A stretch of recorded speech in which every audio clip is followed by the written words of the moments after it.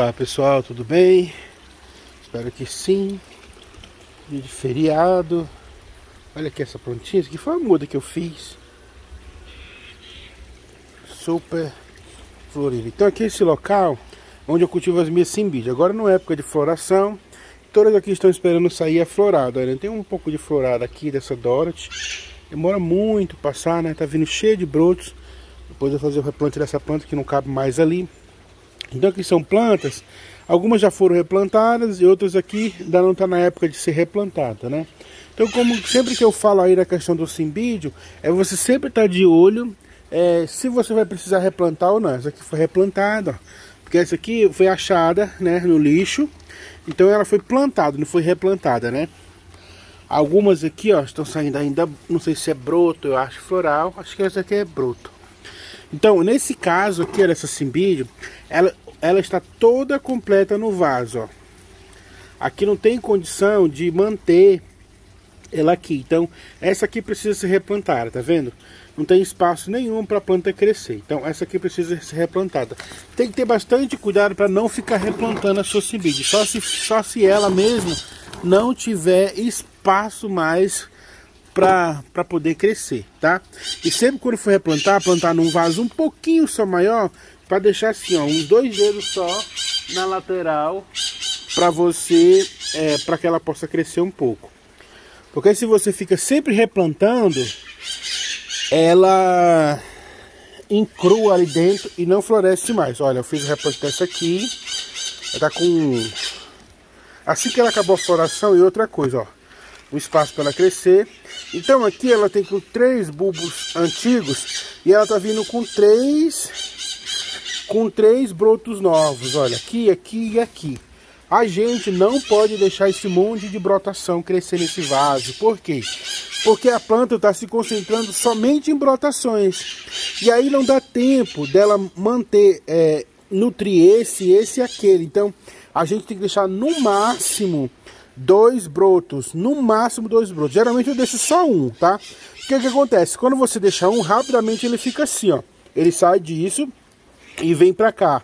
Então, no ano que vem, na época da, da que esfriar de novo, na época da floração dele, esses bulbos antigos aqui também vão florescer, ó. Eles continuam florescendo, tá?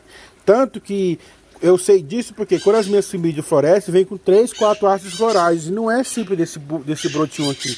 Vem de vários brotos. Então aqui, ó, tem, tem três brotos. Então eu vou escolher os mais bonitos. Eu vou deixar esses dois, ó. Esse, que já tá grande, e esse aqui. Agora esse aqui, ó, ou eu corto aqui na base para retirar essa muda, ou eu quebro ele. Porque, tipo, se eu deixar, a planta vai, vai ter muito trabalho só para nutrir broto. E não é o que a gente quer. A gente quer que a planta também trabalhe para nutrir um broto bonito, para ficar assim, ó, bem cheio e possa florescer. Então, se a gente deixar um monte de brotações aqui nesse vaso, a gente vai estar é, deixando crescer só, só folhagem e nunca vai florescer. Outra coisa é deixar sempre no sol pleno. Ó. Todos estão no sol pleno. Que acontece com o sol pleno? A, o broto, o, o bulbo lá vai ficando amarelado, mas a, a, folhagem ela não vai passando.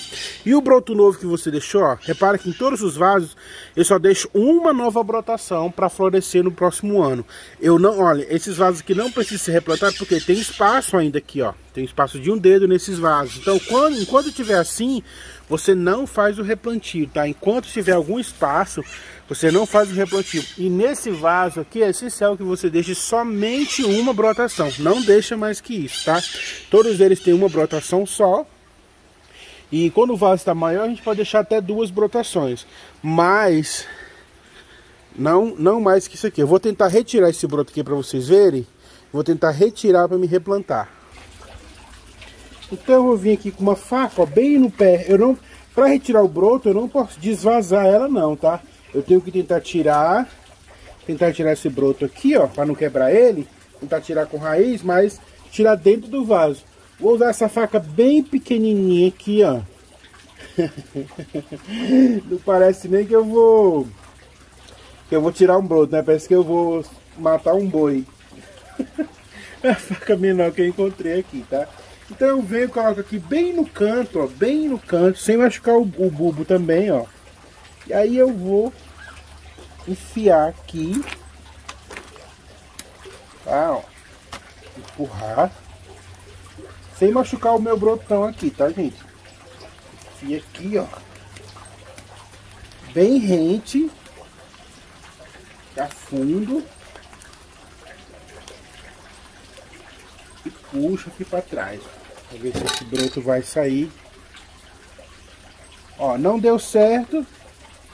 Ah, ele saiu com algumas raízes, tá vendo? Ó, isso aqui já dá para brotar, tá vendo? Ó. Ele saiu com algumas raízes, ele já ia enraizar, ó. Esse aqui ele já dá pra, pra salvar. Aqui nesse canto onde eu retirei o negócio, eu vou vir com o pinho-sol e vou passar aqui, ó. Derramar o pinho-sol ali, para que não crie fungos nem bactérias. Então essa planta, essa planta agora ficou com dois brotos, tá vendo? Esse brotão aqui e esse aqui, ó. Eu escolho os melhores. Quando eu for desbrotar, eu escolho os melhores. Aqui daqui pra frente eu não posso deixar nenhum broto mais, tá? Somente esses dois aqui para crescerem, para poder florescer no, no ano que vem, tá bom? Não posso deixar nenhum mais. Então, esses brotos aqui vão ficar. E agora o que, que eu vou fazer com essa planta? Eu coloquei o pinho-sol ali, porque essa planta é meio que terrestre, né? Ela não, tá, não é terrestre, não está plantada na terra, mas pega muita umidade, porque você tem que regar essa planta aqui duas, três vezes na semana. Por quê? Ela fica no sol pleno, ó. Coloca ela aqui, ó. Todas elas estão no sol pleno. Tá que estão protegidas com um pouco de árvores aqui, ó, tá vendo? Mas não é, não protege suficiente não, tá? Fica no sol pleno, algumas folhas amarelam por, por conta da adaptação. Mas ficam no sol pleno. Agora esse outro vazão aqui, ó. Ele, ele precisa ser replantado, né? Nesse caso aqui. Então vamos fazer, vamos ver se nós fazemos o replante dele hoje. Mas eu tenho algumas outras mudas ali menores que é mais fácil a gente trabalhar para fazer o replante. As outras podem ficar aí um tempo, ó, porque essa aqui, ó, tem dois brotos também, mas é, tá cabendo no vaso, tá? Depois eu vou desbrotar eles. Gente, eu, eu mesmo, particularmente, só gosto de deixar um broto no vaso pequeno, nesse vaso que elas vêm, tá? Agora, você transplantou, você pode deixar dois brotos, não deixe mais do que isso. Aqui os brotos que eu vou tirando, ó, eu vou colocando e eles vão enraizando. E assim que eles estiverem com dois bulbos, é que eles vão começar a florescer. Então demora muito, né? Não sei nem se vale a pena ficar fazendo muda, mas a gente faz as mudas por conta que a gente não quer jogar fora, né? Aqui eu tenho algumas outras simbídeos. Olha, essa daqui tá passando aflorada, ó. E essa daqui, ó, não tem nenhum broto e tem espaço no vaso ainda, ó. Não preciso replantar, tá vendo? Tem espaço aqui, eu tenho só que adubar e regar bastante. Tem que fazer uma limpeza. E essa aqui também tem bastante espaço, então não preciso replantar. Então vamos replantar aquela lá. Olha quem tá ali, tomando sol da manhã.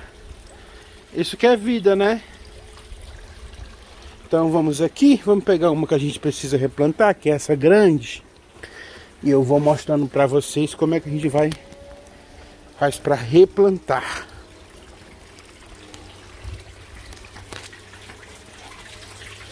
Aqui, ó.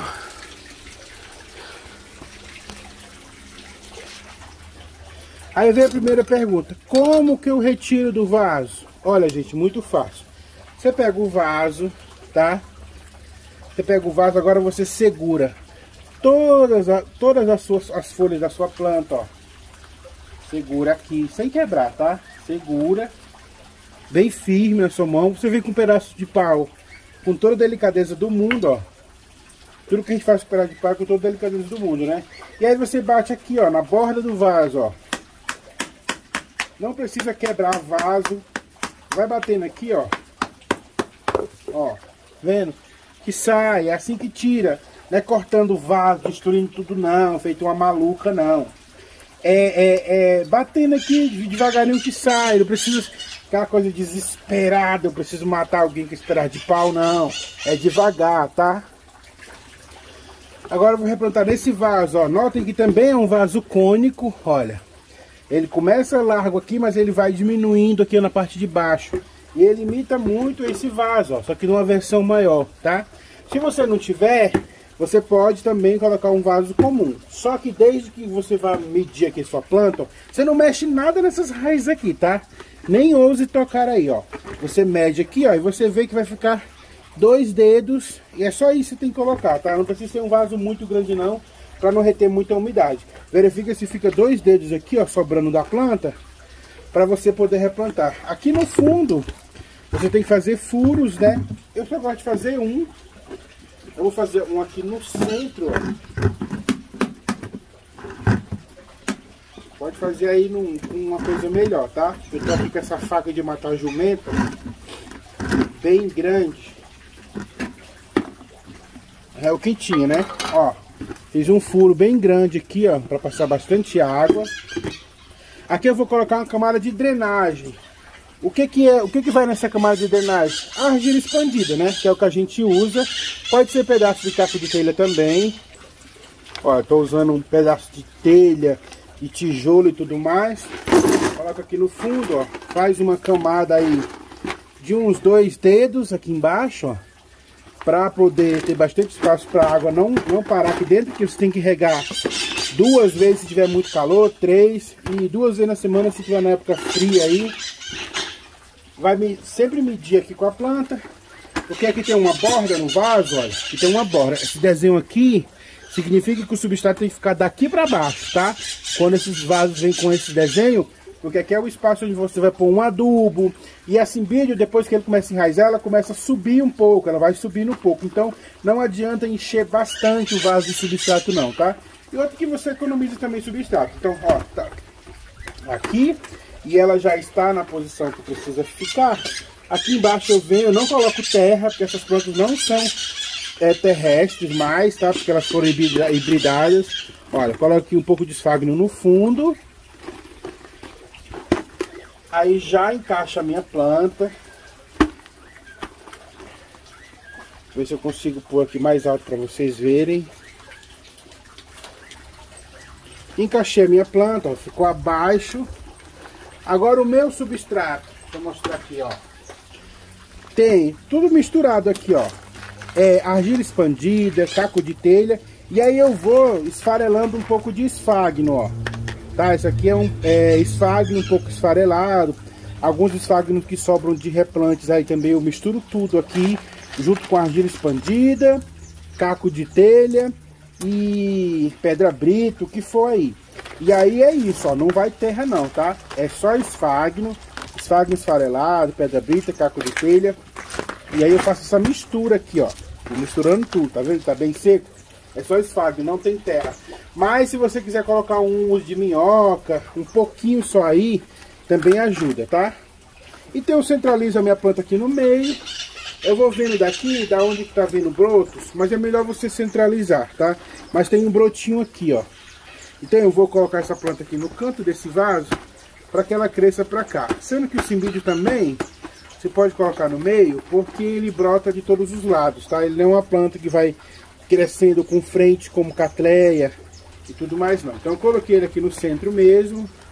Essa brotação, essa brotação aqui ela vai ficar porque tem só um broto. Mais do que isso eu não preciso, porque esses bulbos antigos eles vão florescer.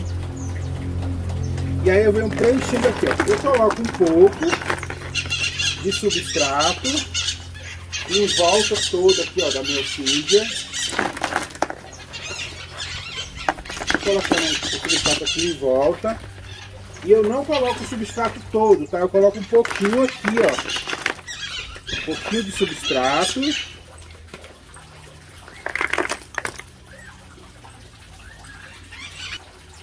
Aí eu venho com a madeirinha e vou encalçando aqui, ó. Aperta bastante, tá? Aperta bastante, senão essa orquídea não enraiza. Vai batendo aqui, ó. Acomodando todo o substrato no pé da raiz. Porque, sem machucar a raiz, tá? Faz a louca aí não. Ó, vai, vai apertando bastante o substrato lá embaixo na raiz, sem machucar a orquídea, porque a orquídea que raiz é a orquídea que fica presa, né?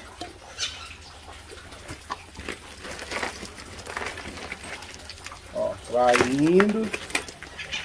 Com cuidado, mas não é morrendo também não, que é uma, não é uma planta bem sensível não. Hoje esses papagaios estão de lascar, porque não querem parar de gritar. Né? Num feriado, a pessoa gritando 24 horas. A pessoa no feriado não tira folga. Ó, você vai colocando. E atrapalhando o vídeo. Calem as bocas. Ó, vai completando aqui. Quando não é vocês, é o carro do gás. Isso não é, isso não é permitido, não. Ó, aí vocês vão. Quando não é vocês, é o carro do gás, né? Ó, vou continuar amassando aqui. Tá vendo? A delicadeza. Vai apertando bastante, porque para essa orquídea enraizar, ela tem muita raiz, né? Mas não é a raiz que fazia parte desse substrato, não. São outros tipos de raiz. Mas para parar, para poder enraizar, tem que dar uma apertada. Tá quase chegando na altura que a gente quer.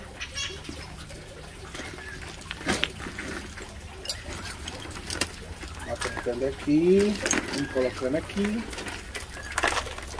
Não é para cobrir os, os rizomas, tá? Os bulbos.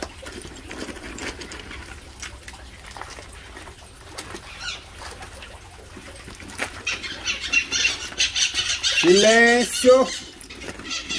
Pelo amor de Nossa Senhora! Calai-vos! Olha, aqui completei, tá? É uma planta grande para replantar, gente, que a gente vai tendo aí uma demora, tá?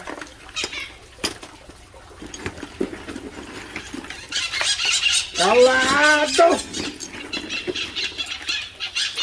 Quando não é vocês, é o carro do gás. Ó, aqui, ó, terminei. Dou mais uma batida. Se tiver broto, muito cuidado para não quebrar na hora que vocês baterem aqui na parte de cima. Porque esse substrato tem que ficar bem calçado aqui, tá? Vai com força, mas vai com delicadeza.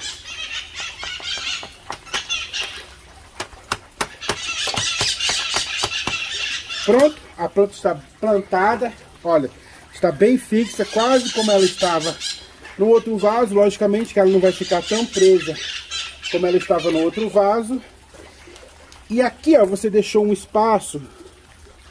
Você deixou um espação aqui, ó, para quando você molhar a água parar aqui. E aqui você tem que pôr bastante é, adubo, tá? Essa planta precisa ser adubada todos os meses, todos os meses, tá? Você põe uma porção de... Você põe uma porção de bocacha aqui, ou farinha de osso, ou uma porção de, de osmocote, mas tem que ser todos os meses. O osmocote pode ser a cada três meses, tá? Mas molhar, molhar, vocês vão molhar bastante.